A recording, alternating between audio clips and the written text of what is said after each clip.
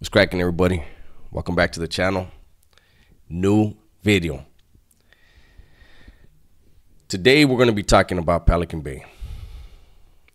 I've done a lot of videos on Pelican Bay, and it's the prison that I'm asked about the most. And I've, I've done stuff. I did one about three months ago on Pelican Bay, and I talked about the different parts of it. Today, we're going to just talk about the SHU like I mentioned before, um, Pelican Bay is is was uh, a place. I, I think for a lot of people because they don't know that it's no longer filled with all the legends, um, so they they still don't realize what's going on over there now. They they think it's still that that uh, mythical place. It seems like. Um, I can tell you one of the code words. It doesn't matter anymore. They don't use it. Um, for that place was Teotihuacan, which meant the place of the gods. Um, so Pelican Bay, even within the um, the prison community, held um, high regard. Um, if you went into the prison system and you um, felt you wanted to be involved in certain things, then going to Pelican Bay was a must you were going to go there. Um,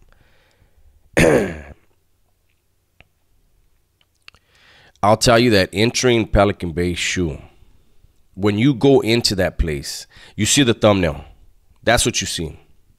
You don't see windows. You see corridors, right? White walls. It almost feels like when you enter that place, you're going into an underground bunker and um, when you get to your cell, it's unlike any other cell. It's it's huge. Actually, those cells are really big, right? But the whole front end, the front of the cell is like a cheese grater. It's a steel door and a steel wall with the holes in it, perforated wall, perforated door, right? And it is probably the quietest place that you could ever enter I mean, you know, you go into a church and a church is quiet, right? But that's usually because there's nobody in it. You would go into a Pelican Bay SHU and there's somebody in every single cell and it's still as quiet or quieter than a church, any church you've been in. Being in the cell, everything's white. Everything in your cell is painted white. The wall across from you is white. The stairwell, stairwell's brown. Um, but that place was built specifically to break men. And um, the CDC had particular people they wanted to break. Um, Pelican Bay SHU was, without a doubt, the Harvard, um, the MIT, um, of criminality. When you entered Pelican Bay SHU, you were you were entering uh, the home of the legends. You were entering a place of extreme criminality. And if you were um, allowed a glimpse, um, you were going to learn a whole lot. You're going to learn how to perfect your criminality, how to protect, excuse me, how to um, perfect the art of manipulation. You know, there was a saying in there they used to say, you know, that when you get out to the, anytime you're in the SHU, you understand you're doing your time. You're going to come back. Once you start going to Pelican Bay SHU, you know you're going to go back. And so every time you leave, you plant seeds. You plant seeds in the minds of people. Find out what they want to be and tell them they can be that. They just need to do a couple favors. That's how it was. And um, you had to do that because when you get slammed down, you're going to need people to assist you.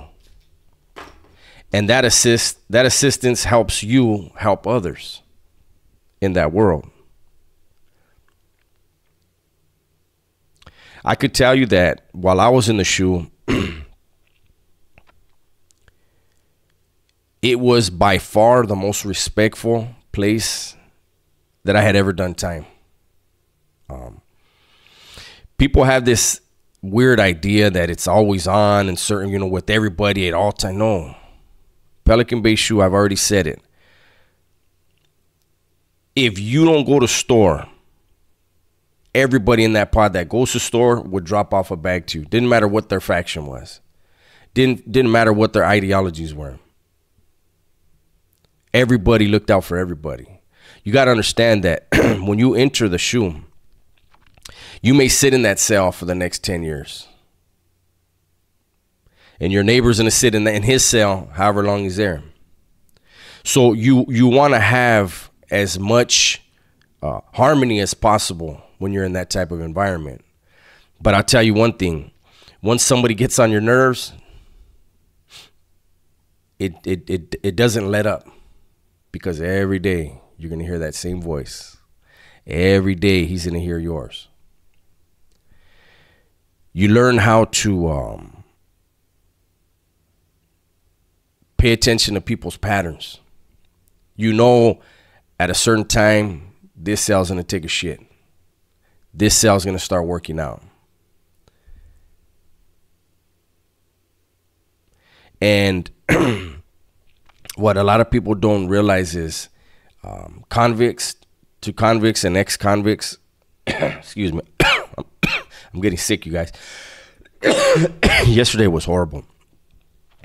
But, anyways, convicts and ex convicts, one thing that we always pay attention to is patterns.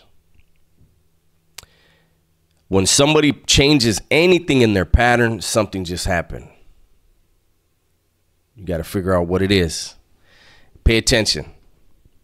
And that's like with me out here in relationships when when when things are a certain way and when something happens, you know, everything happens for a reason. Nobody does anything for nothing, right? Um, I wanted to try to do this video and give you guys a, a better understanding because I know that there are uh, documentaries about um, Pelican Bay, and I, I never watch prison movies or or prison documentaries because it's like I lived it. Like, what what are they gonna tell me that I don't know? Um, but I just wanted to give you guys a, a, a, an understanding, man. Like when you walk in that bitch, you really feel like you're going underground. And the energy there is different. You know, each prison has a different energy to it. You can walk onto a fucking level 4 180 and you can feel you can feel the tension in the air. Pelican Bay, you don't really feel tension. It was more like um, I can't I can't describe it, but you knew you were in a place where uh, you you remember you got two eyes, two ears, and one mouth for a fucking reason. Shut up, listen, watch, learn. you know, I saw dudes going to the SHU, and uh, they get comfortable. You know, they they play they play chess on the tier or something, and um, they catch a little attitude with the wrong person and you know it blows over and that guy gets out of the SHU two years later and gets whacked as soon as he hits the yard it blew over but it wasn't done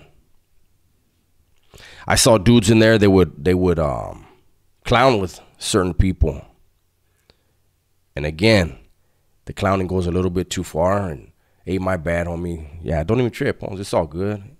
And you guys chill with each other every day, you know, talk on the tier, whatever. Then that dude gets whacked as soon as he hits the yard. Pelican Bay SHU was one of the worst experiments. I mean, to build a prison um, specifically to try to break people's minds, to drive people insane, um, that in itself is inhumane. Um, because a lot of those people were released back into society directly from the SHU. How does that how does that benefit society at all? But anyways, I went on way too long. You know me, I'm usually about eight minutes. This one's already over 10. Um, hopefully you guys enjoyed this video. Let me know in the comments, man, other things that you want me to talk about. Um, and you already know if I feel comfortable with it, I will. With that said, everybody please be safe, be smart, and tell the ones you love that you love them. I'm out.